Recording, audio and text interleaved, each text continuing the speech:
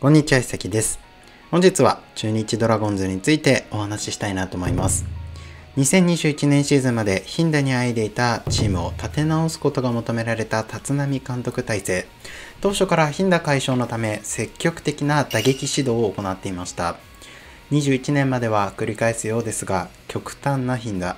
チームの中で OPS7 割を超えている選手が3人しかいない、それくらい厳しい状況だった中で、まあ、大島選手、ビシエド、木下選手さえマークしておけばという打線でした。さらにアリエルや郡司選手、石橋選手といった打力期待の選手たちがポジション的に起用できないなど、ただ打てない上にあぶれてしまっていて、石川隆也選手が怪我、石垣選手が不振など、本当にむずがゆいシーズンでした。で、このシーズンになってからコンバートなど既存の戦力を各ポジションに当てはめていく形で期待の若手の優先起用などもありチームを変えていく試みをしていきました。まあ、まず配置転換をまとめるとこんな形。木下選手、京田選手、ビシエド、大島選手をレギュラーとして想定し、石川昂弥選手、アリエル、岡林選手、鵜飼選手の積極起用、既存のレギュラーと若手の底上げが今季の狙い。まあ、そんな立浪監督体制なんですが、このシーズン、実は結構賛否分かれることも多くなってきているんです。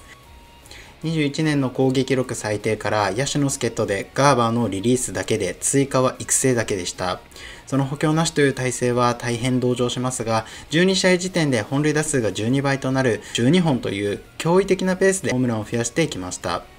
21年までの体制はガチガチの投手の柱の強さを生かすためにもある程度本職的な選手を起用していきました。その中で19年ベストナインそして19年20年ゴールデングラブの高橋選手の不振と阿部選手の不振と離脱。ビシエドも本調子ではなく2桁本塁打が2人。OPS7 割を超えている選手がビシエドの7割6分6厘。木下選手の7割4分8厘。福田選手の7割2分4厘となっていました。この状況の中で助っ人補強なしというのは信じられませんが、平田選手、大島選手、福留選手、三好選手、渡辺選手、伊藤選手、滝野選手、加藤選手、岡林選手に加え、ブライト選手、鵜飼選手、福本選手の追加、さらに石岡選手、阿部選手、根尾選手、アリエル、郡司選手の外野挑戦などもあって、外野起用選手が18人程度いるんですよね。まあ、確かに圧倒的攻撃力課題の外野、マイナスを本当に大きく叩き出してしまっていた中で、外野起用選手は増やしていきたい、もう何が何でも攻撃力を出したいというくらいでしたが、追加が難しいというのは頷けます。その中で当初はレフトアリエル、岡林選手をライト、そしてサード石川選手も当初は苦しんでいたんですが、しっかり当てはまりつつあったんです。まあ、もちろん高橋選手がセカンド起用されるのはある程度理解できます。守備より火力を重視する、多少荒さがあっても石川昂弥選手と高橋選手を同時起用し、阿部選手を外野に回してまでも攻撃力を出したかった意図自体は理解できます。当初描かれていた理想がこんな形。ただこのようなオーダーにすると3番から7番まで全員が右バッターになりますので左を入れたい気持ちは分かりますし当然レギュラー候補というかコア候補で高橋周平選手がいてもらわないと困りますので入れる理由自体は分かります。ただアリエルを外して阿部選手をレフトに回して怪我明けの高橋選手をセカンドに入れてまでというのは少し当初からどうなのと言われることが多かったです、まあ、当然ですが采配には賛否があります。特に就任1年目なんて賛否がない方がおかしいくらいです。ただ今年はとにかく多すぎますし、今のところ良い方向に進んでいるものが、まあ、目立たなくなってくる、それくらいの状況になっています。そんな立浪監督体制についてお話ししたいなと思います。正直投手陣が今年はかなり苦しんでいます。確かに体勢が変わってから崩れてしまっている感じはありますが、勝野選手の怪我や福谷選手の不振などは、正直体勢の影響とは思いづらいですし、福選手、祖父江選手らも金属疲労はあったかなと思います。そして岩崎選手の離脱。先発が1軍、2軍ともに足りないのは、21年から投手の数が欲しいとずっと言っていた中で、ドラフト指名が石森選手だけでした。まあ、こういう原因があるので、一概にこの体制の投手運用が、まあ、この投手陣の課題を生んでいるとは全く思いません。むしろ山本選手、清水選手、ジャリエルを中継ぎに回して、運用が良くなっている部分がありますので、そこは一定の評価をしたいところ、今の落合ヘッド体制、立浪監督体制が悪いとは思いません。また2021年に比べて守備より火力を重視したオーダーにすることはある程度想定されていましたので本職でないポジションを守る選手がいます、まあ、なので失点や防御率の悪化投資課題は目立ちますがそこを今の体制が悪いというわけではありません。で打撃に関しては何度も申し上げている通り補強なしでホームラン数を最下位ではなくした、まあ、圧倒的最下位だったのでそれよりはまあまだまだっていうところまで来ている部分では一定の評価はあっていいと思いますしもともと昨年の頻打から考えると反撃できるくらいの攻撃力というのは、まあ、評価されるべきかなとも思います、まあ、ただ疑問に残る点が多々あってまず1つ目高橋周平選手について。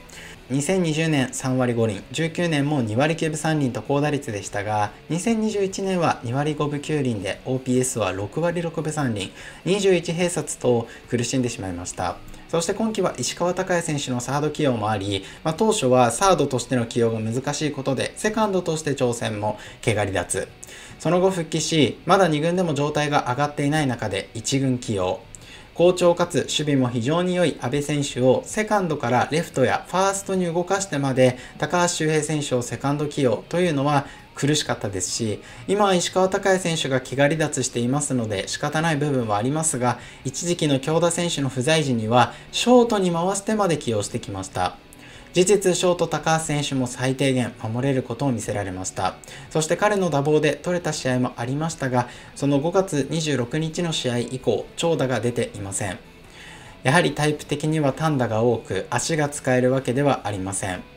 そしてゴールデングラブの経験のある守備が売りなんですが、セカンドは経験も結構前になりますし、ショートはさすがに範囲的には苦しくあります。チームのショート課題、そして右が多い打線なので、高橋選手を入れたいところは分かりますが、まあ、無理に入れていた感もあります。で、今は石川昂弥選手が離脱、復帰しましたが、石垣選手も離脱していて、基本的にはサード、高橋選手起用。まあ、これ自体は仕方ない部分はありますが、やはり固定というのは難しいですし、上位で使い続けるのはしんどいところがあります。まあ、正直、ここに関しても少し批判が集まるのは仕方ない部分はあるかなと思います。そして2つ目、京田選手について。まあ、何度かお話ししていますが、打撃改造にも取り組んでいた京田選手が今シーズンは不振でした。今まで打撃で言われることもありましたが、立浪監督も積極的に指導してきて、フォームも改造していきました。ただその中で当初結果が出ず、それでも起用が続いたことで批判もありましたが、かなり擁護、ショートは京田選手という発言もありましたし、まあそういう部分では個人的に好感を持っていて、まあつってなくても我慢し続ける。どうしてもマイナスを出してしまってはいましたが、守備面でやはり固めていく、今シーズン、この人に1軍のレギュラーで1年間頑張ってもらわないといけないっていう意味では、個人的には良かった部分かなと思います。で、その直後にホームラン。まあ、ここから上がってくるかなと思っていたんですが、なかなか上がりきってはこず、守備でも少しまずいプレーがあったことで、試合中に強制送還、そして2軍降格となりました。まあ、正直、三俣選手が2軍でアピールしていたこと、戸上選手も元気ですので、調整できるタイミングといえばそうなんですが、まあ、少しやり方自体も強かったので、そこに関しては賛否もありました。その後、京田選手が2軍で怪我をしてしまったことで、今は時間もかかっています。1軍ではショート、三俣選手が起用され、まあ、併用もされていますが、ショート自体で全体で1割9分6厘、日本12塁打、12打点、OPS5 割4分6厘。もちろん三俣選手もよく粘ってくれていますし、オリックス戦では大暴れも、やはり守備面、安定感で京田選手が欲しいと思ったことは多々あります。怪我をしてしまったので仕方ないんですが、賛否も呼んだ抹消ではあったかなと思います。そして3つ目、アリエルの起用について。今シーズンからレフト挑戦のアリエル・マルティネス。ビシエド以外の唯一の支配下での野手助っ人で、今までも打撃で非凡さは見せながら、キャッチャー、ファーストという起用柄、また怪我の多さで安定して計算することが難しかったんです。その中で今季、レフト起用、外野の攻撃力課題改善を期待されていた彼が、しっかり打撃で結果を残してきました。得点圏での打撃、打点に関しては少し寂しいんですが、しっかり長打、そして何より彼の最大の武器である出塁率、まあ、ここが3割8分9厘と、しっかり上位でチャンスを作ることができています。しかし4月当初に登録されながら、まだスタメンが33試合。やはり怪我のリスク等もありますので仕方ないんですが、やはり火力が足りないチームで OPS チームトップ、守備でもさほどマイナスではないなら、外したくない存在ではあると思うんですよね。鵜飼選手、岡林選手、大島選手と外野起用したい選手が多くいますし、立浪監督からコメントにもあるように、フルシーズン戦ったことないことや、怪我の多さなどを考えて起用を入れてるとは思いますが、どうしても彼を外すスタメンになると火力的には心配というか、しんどくなります。まあ、コンディション優先だと解釈していますが、ここも賛否が分かれて仕方ないところ、アリエル、ビシエド、阿部選手、木下選手、まあ、全員右になるのが難しいんですが、ここは3から6固定していいような気もしますが、そう簡単にはんでいません。そして4つ目、中村則弘コーチについて。まあ、ここに関しては推測になってしまうんですが、シーズン途中に中村則弘コーチの配置転換。コーチ陣でテこ入れというのは、実はそこまで珍しいことではありません。ただシーズン途中でそこまで低迷と言われるほど苦しんでいたわけではなく、むしろ打撃陣で期待の選手が粘ってくれていた今シーズン。特に今年は石川昂弥選手、はヒッター、まあ、さらにネオ選手らの若手の開花を狙って、監督直々に招聘しました。起用が少なくても若手選手を1軍に残していたのは、まあ、ある種中村典弘コーチの指導も入れたいからなのかなと思っていましたが、シーズン途中に緊急の配置転換。もちろん2軍の育成に当たってもらうなど明確なことがあればいいんですが、これは内輪の話で別に何かノリに問題があったわけでもない。今回はあえてコメントを差し控えさせていただきますと、まあ、少し濁すような形で発言をされていました。まあ、もちろん本当に何もなければ良いんですが、ここまで濁すとやはりいろんな憶測を呼んでしまいますし、審議に関しては不明ですが、球団は広い本拠地のドームで有利に戦えるよう単打と走塁に主眼を置いた若手育成プログラムを作り、それをもとに指導するよう通達していた。だが中村コーチは長打を狙うノリ流の打撃理論に自信があるため不満を抱いていたそうです。さらにキャンプ中、立浪監督の石川にしばらく教えるなという指示を無視して揉めるなど、火種はありました。まあ、こういう記事もありました。まあ、正直、仮にこの若手育成プログラムがあったとして、石川隆選手にもそれを期待していたのであれば、ホームランバッターでもあった中村紀弘コーチの招聘自体が噛み合わないと思っていますし、この記事は前2軍監督。で練習中若手に長打狙いの指導を勝手にしていたことが育成プログラム作成を主導した二村さんの耳に入り二村さんが激怒したとなっているんですけど二村さんが2軍監督時代には長打を打てる選手にはどんどん大きいのを狙わせます。1試合で9人がホームラン打ったなんて面白いでしょという発言もあるので2軍監督が、まあ、そんなプログラムを1年間で方針を変えていくってなかなか思いづらいんですよね、まあ、なので正直信憑性はあまり高くないんですがこういう憶測を呼んでしまうので面思い切った配置転換なら意図は説明してほしかったです。で追加にもなりますが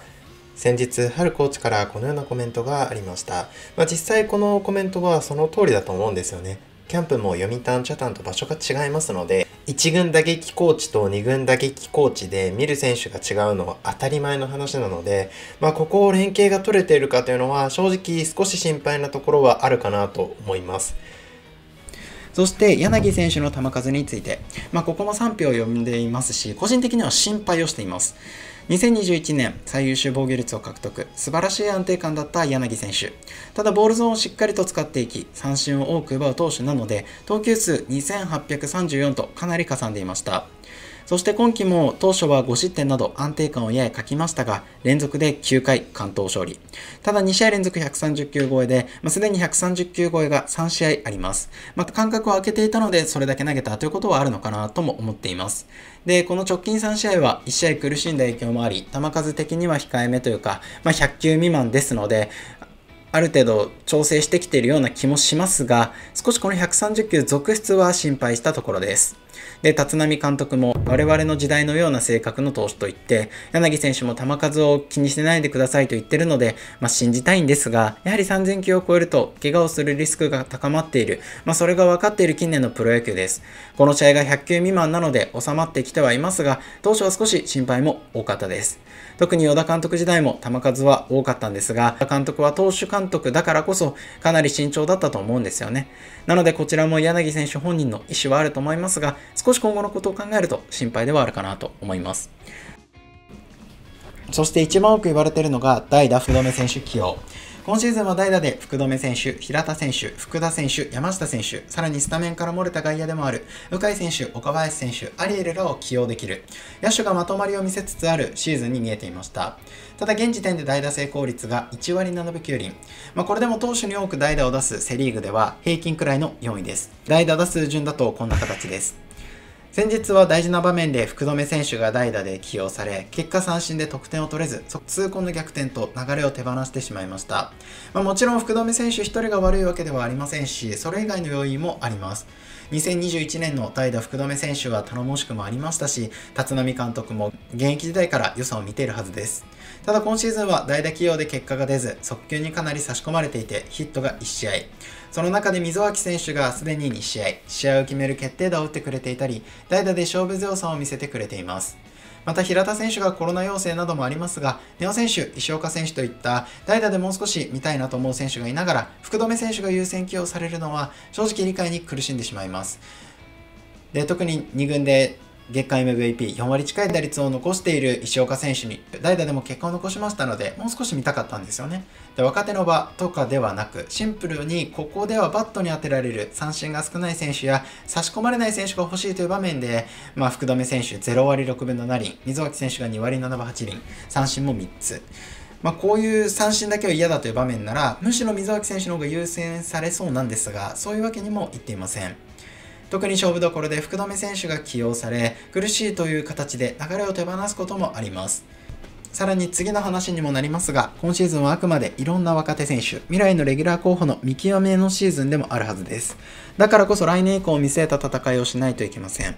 その中で、鵜飼選手、アリエル、岡林選手、石川選手らを起用し、阿部選手、木下選手の起用を固める。そして大島選手をレフトに動かしたり、高橋選手の復活のために、セカンド、サード、ショートまで動かして、まあ、本当に起用のパターンも増やして、復調を待っていく。まあ、理解できることもあるんですよね。やはりコア候補なんで。ただ代打のピースでここまで固執する。少しずつ序列も変わってきた感じはありますし、溝脇選手もどこまで持つかは不明です。まあ、なのでベテランを生かすための起用は当然ですし、もっともっと試してほしい。福田選手なり、コロナから復帰した平田選手なり、まあ、ここまで結果が出ない中で特定の選手に起用が続くと批判も仕方ない部分はあるかなと思います。そして最後、根尾選手について、まあ、ほぼ本命と言えるところ、4球団競合ドラ1の甲子園のスター、高い注目を浴びていましたが、2軍でも少し攻守ともに苦しんできました。1年目の2軍では2割1分2本33打点 OPS5 割6分3厘127三振。2年目の2軍では2割3分8厘5本11二塁打33打点 OPS6 割3分7厘69三振、まあ、数字的にさほど大きな差はないかもしれませんが好調時期はとにかく止まらない。長打も放てるようになってきていて希望もあったんです。そして外野起用を含め1軍戦力化したかった2021年。かなり積極的に起用されていましたし外野の攻撃力は圧倒的課題だった中で、チャンスはずっとあったんですよね。実際、1番くらいに起用されてきましたが、結果を残すことはできませんでした。まあ、なので正直、今年の戦力化は大事になりますが、ポジション動向は本人の意思というか、チームに左右されるのは、ある程度仕方ない部分もありました。ただ今季、始まる前には外野課題を考え、外野正式転向。しかし、鵜飼選手、岡林選手、アリエル、大島選手、阿部選手らの外野などを考えると、起用は減りますし、オープン戦で代打含む勝負強さを見せながら、開幕してから1軍では起用自体もあまりありませんでした。ただその中で京田選手の不振、そこで急遽ショート再転向。まあこれ自体が悪いとは正直あまり思わないんですよね。事実ショート課題ですし、外野の長打期待選手やヒットを量産できる岡林選手らのアピールを考えると、ショートの方がチャンスはあります。特に京田選手に葉っぱをかける、京田選手の刺激のためにもいいと思うんですよね。で、一度抹消し、2軍でしっかり1ヶ月ほどショートとして出したいところ、まあもちろん土田選手もいますので、起用も難しいという中で、京田選手の懲罰的な抹消があったんですよね。ねで、その中で三俣選手が上がりましたが、もう少し見るかなっていうタイミングで1軍に再び戻り、控え起用で、まあ、スタメンでという形ではなく、まあ、ベンチを温める期間が長かったんですよね。で、三俣選手が粘っていたんですが、少し疲れが出てきた頃、まあ、守備でも苦しさが出てきた頃に、まあ、チャンス来るかなと思っていたんですが、そこでショート高橋周平選手でした。確かに高橋周平選手の方が実績もあります。シンプルに今季で考えると、プラスを出してるわけではないんですよね。で、守備でもショート、ネオ選手で1軍起用が短い中で、高橋周平選手が優先されました。わからない。ネオ選手をどうしていくのかよくわかっていない中で、2軍との親子ゲームができる時にはそういう起用も、1軍のスタメンは合計6試合、ショートスタメンは0でした。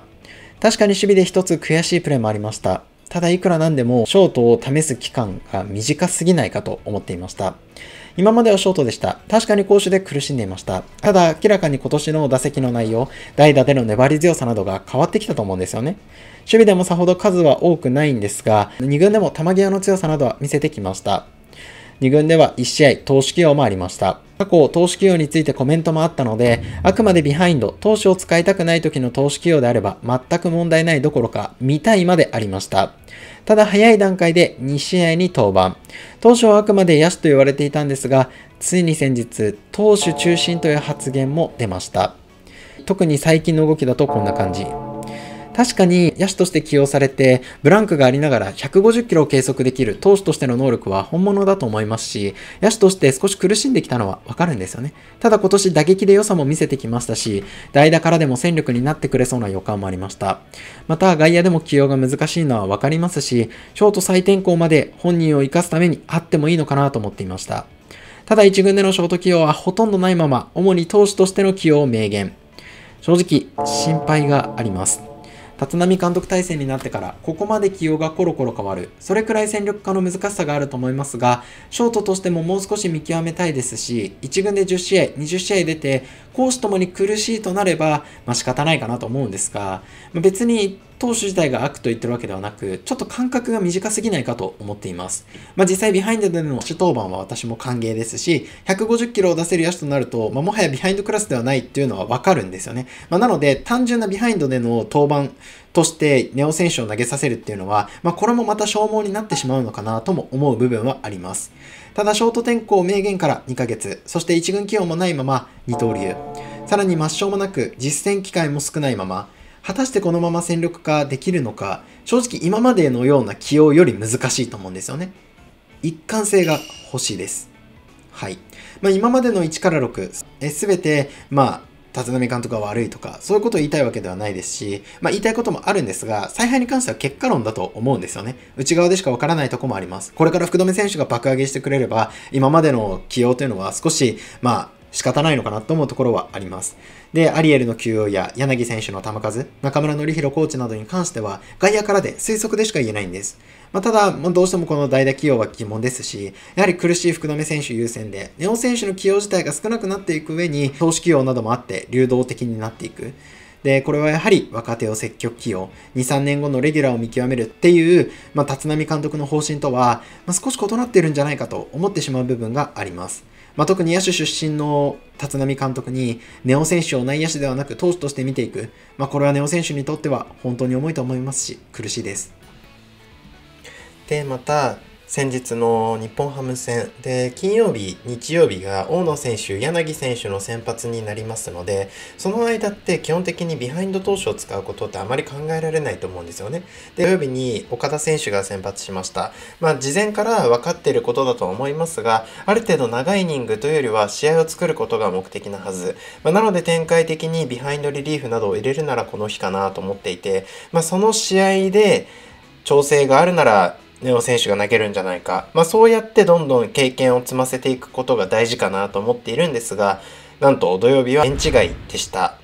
まあこういう試合で経験を積んでいくのか、じゃあはたまた投手をやらせるなら2軍でしっかりピッチングをやらせるのか、まあどちらか明確にしてほしいんですよね。そういう部分がまだ明らかになっていないので、ファンはとにかくモヤモヤしている。それが今のネオ選手についてかなと思っています。当然これから投手メインで行くのか、はたまた二刀流をしっかりやっていくのか、